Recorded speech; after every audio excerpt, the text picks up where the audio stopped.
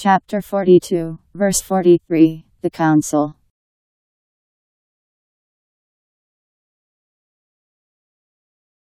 And verily Hoso is patient and forgiveth lo, that, verily, is of the steadfast heart of things.